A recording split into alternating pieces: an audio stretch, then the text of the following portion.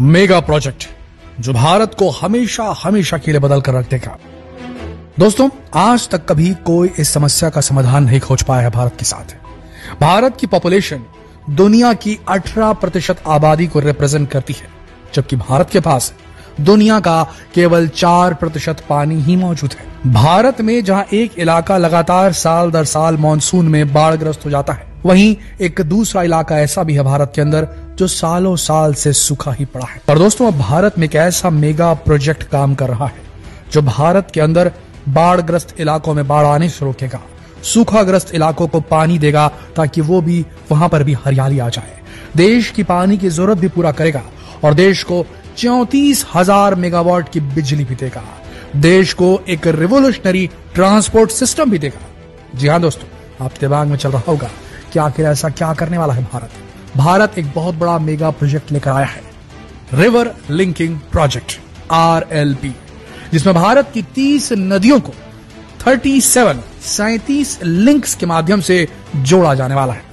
List हम आपको बताएँगे कौन कौन सी नदियों को जोड़ा जाने वाला है, और आपको बता दे दोस्तों, भारत की 30 नदियाँ, हर साल इनका पानी लगातार बहता था और समुन्द्र में वेस्ट हो जाता था। ना इन नदियों पर डैम थे, ना इन नदियों का पानी जहाँ ज़रूरत है वहाँ जा पाता था।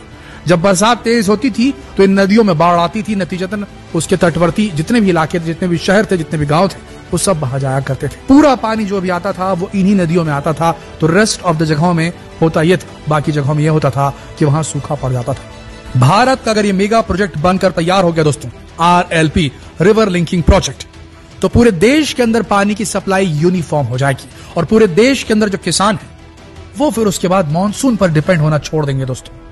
ये एक ऐसा मेगा प्रोजेक्ट है जो देश को सीधे सीधे वापस सोने की चिड़िया बना सकता है।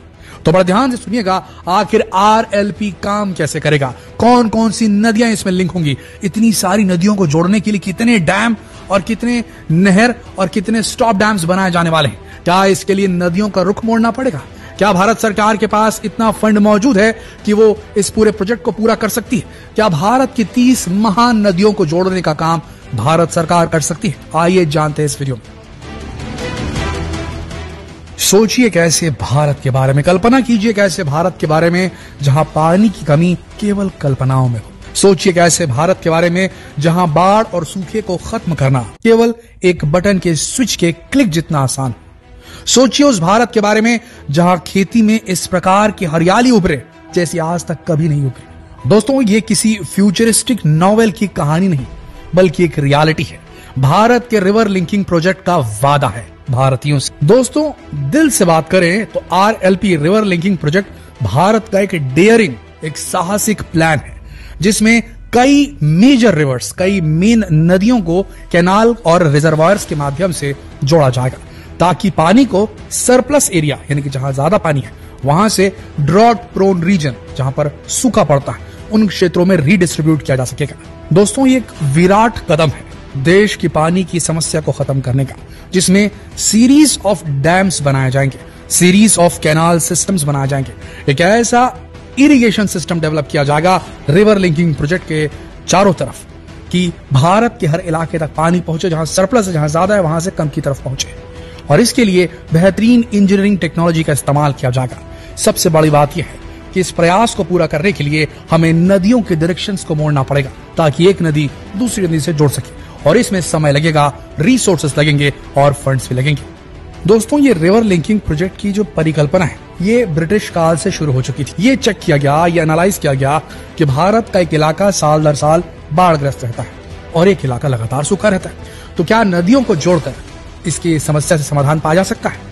इसके बारे में अर्थर कॉटन नाम के एक ब्रिटिश इंजीनियर ने 19वीं सेंचुरी में प्रपोज किया था कि जो मेन नदियाँ हैं, भारत की, उन्हें लिंक कर देना चाहिए और इससे ट्रेड बढ़ेगा। ट्रेड यानी कि व्यापार बढ़ेगा। नदियों का जो रास्ता है, उसे इनलैंड ट्रांसपोर्ट के लिए इस्तेमाल किया जाएगा। बोट चलेंगी एक शहर से दूसरे शहर जाने के लिए। इन जो नदियों का जो लिंक बना हुआ है, उसका इस्तेमाल किया जाएगा। इससे ट्रेड भी बढ़ेगा और पानी की कमी भी दूर होगी। तो अर्थर कॉटन नाम के एक ब्रिटिश इंजीनियर के दिमाग में ये आइडिया आया था उन्नीसवीं सेंचुरी को, पर यह पूरी तरीके से परिष्कृत नहीं था। फिर आया 1990 का दशक, जिसमें डॉक्टर के एल राव, जो फॉर्मर इरिगेशन मिनिस्टर थे, सिंचाई मिनिस्टर थे, आपको बता दें, वो ऐसे सिंचाई मिनिस्टर नहीं बने थे। उनके पास डैम डिज़ाइनिंग का बहुत बड़ा एक्सपीरियंस था डैम डिज़ाइन क्या करते थे तो उन्होंने परिकल्पना की थी कि नेशनल वाटर ग्रिड डेवलप करना चाहिए देश के अंदर, जिसमें नदियों को जोड़ा जाना चाहिए। उसके बाद टालम टोल करते करते करते उसके बाद अब जाकर जो प्रोजेक्ट है, इसे नेशनल प्रोजेक्ट का दर्जा दे दिया गया है और अब इस पर अब जो है काम बहुत बड़े लेवल पर चल रहा है। दोस्तों, भारत को रिवर लिंकिंग प्रोजेक्ट से बहुत बड़ा फ़ायदा होने वाला है। पहला एनहांस्ड एग्रीकल्चरल प्रोडक्टिविटी ये बढ़ जाएगी। कृषि की उत्पादकता बढ़ जाएगी। इंप्रूव्ड वाटर अवेलेबिलिटी जिन इलाकों में पानी नहीं पहुँचा था, वहाँ पानी पहुँच सकता है। हाइड्रो इलेक्ट्रिक पावर जनरेशन हमने आपको बताया, चौंतीस हज़ार मेगावाट की शक्ति मौजूद है देश की मेजर नदियों के अंदर। बह रही है हमें बस उसे निकालना है और वो इस आरएलपी प्रोजेक्ट के माध्यम से किया जा सकता है। अब सवाल आता है कि कौन कौन सी मेन नदियों को जोड़ा जा रिवर लिंकिंग प्रोजेक्ट के माध्यम से। Number one Brahmaputra Ganga Yamuna Mahanadi Godavari Krishna Kaveri Pennar Ghaggar river Sabarmati river Chambal river तो इन सारी जो नदियों को जोड़ा जाने वाला और भी कई नदियों के नाम है जो अलग अलग इलाकों से निकलते हैं। दोस्तों प्रोजेक्ट इतना बड़ा है और इतने सारे फ़ायदे देने वाला है तो उसके सामने कुछ चुनौतियाँ भी है। पहली चुनौती है टेक्निकल हर्डल्स अलग अलग टरेन में अलग अलग जो ज़मीन की सतहें होती हैं, वहाँ पर अलग अलग प्रकार के डैम्स लगेंगे। अलग अलग नदियों का बहाव अलग है तो अलग अलग तरीके से उनको हैंडल करना पड़ेगा। इसके बाद फाइनेंशियल कंस्ट्रेंट्स भी आएँगे, पैसे की कमी भी हो सकती है।